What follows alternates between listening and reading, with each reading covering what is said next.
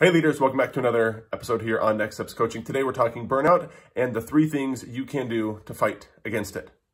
Now, let me actually start by setting the stage with uh, one of my Christmas experiences as a child. And, and we were going around uh, the circle as a family, and uh, at least our tradition was that uh, we would write letters to everybody on Christmas morning. And after we finished reading you know, our letters. I, I would write one to, to my brother and to my mom and to my dad.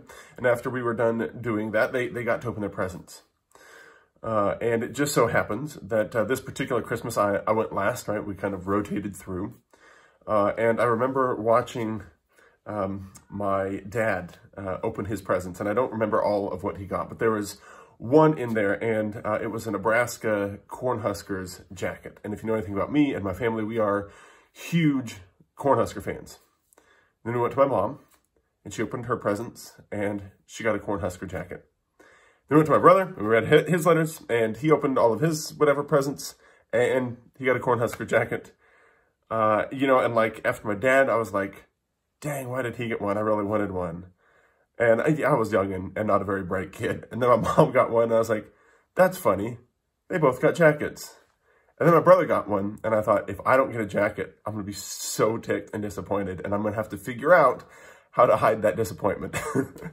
uh, and they read me my letters, and I open up all of my presents, and there is not a Cornhusker jacket to be seen anywhere.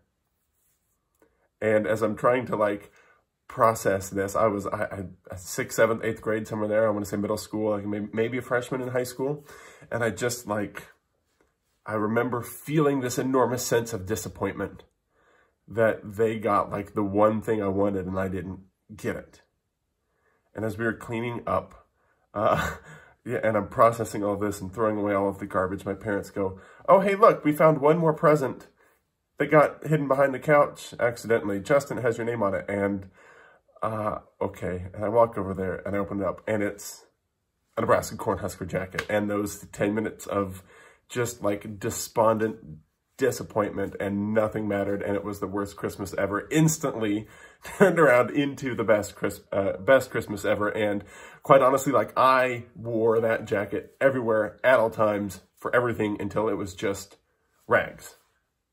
But it's this idea that burnout ultimately happens in those disappointment moments. We want to talk about that. And there's actually this uh, interesting story uh, between uh, 1 Kings 17 and 1 Kings 19 in uh, the Bible. We get this story of Elijah, a prophet of God, who is dealing with this mounting leadership pressure to bring God's people back to him as the story gets told. And it kind of culminates in in uh, some rather spectacular ways in 1 Kings chapter 19 that we won't go into all of the details, but it's an absolutely fascinating uh, case study just into, into leadership, into culture, into dynamics, into uh, biblical studies. Uh, but in this moment, we see at the very end of the story, even after Elijah has become victorious, this despondent, depressive, almost a, a, a perfect example, case study, textbook example of burnout. Why? Well, because here are really the two major areas where we see burnout happen. The first is in the let down between crises, right? If we are constantly a leader that runs from crisis to crisis to crisis to crisis, it is in between those moments of chaos that we find that gap for burnout because we learn to thrive in the midst of chaos and don't know how to nourish ourselves to sustain that bridge between them. That even if you're a great leader at handling chaos and change and discomfort, if you don't know how to handle that in-between space, you're just constantly going to seek it out and constantly become disappointed and stressed and agitated and ultimately to burnout. The second area that burnout happens is right after mission accomplished. And that is what we see in Elijah.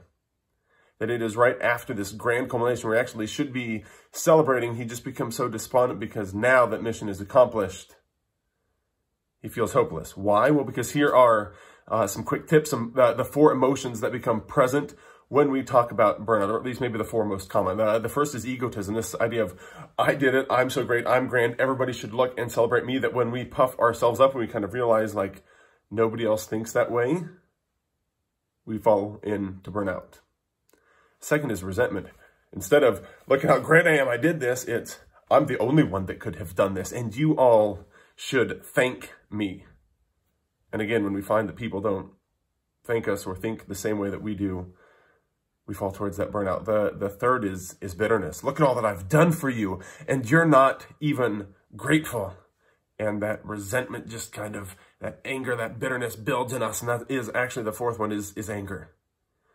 Egotism, resentment, bitterness, anger, the four most common emotions that lead to burnout. That if you can't shake those, if those are perpetually creeping up in your life, that is a huge warning sign and trigger that burnout is close by.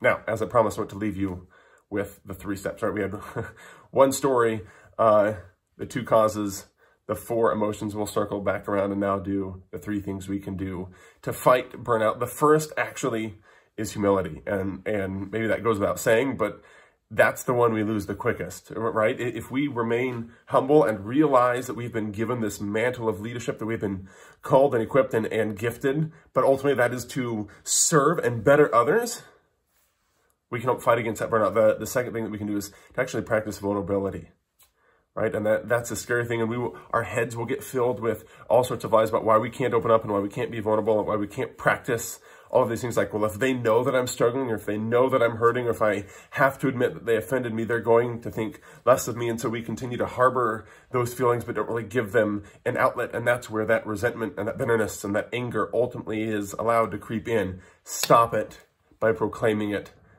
I need to express forgiveness. I need to ask for forgiveness. I need to see if we can reconcile this relationship. I need to practice some vulnerability. I'm really hurt. Can we work on us? And the third, that us is community. Burnout happens when we do it alone. That was ultimately Elijah's downfall. He thought that he was in this alone. He feared that it was just him. And he harbored those feelings. Fight against that today. Stay humble. Practice vulnerability. Seek community. Avoid burnout. Your task as a leader is too great to succumb to burnout. It destroys lives, it destroys relationships, it destroys callings. Don't let it destroy you. I'm Justin with Next Steps Coaching. If you need any help with that, I would love to help. Be sure to find all of my contact information down below. Please like, share, and subscribe. Leave a comment below uh, if this has helped you in any way. I would love to be in touch. Anyway, we'll see you guys next time.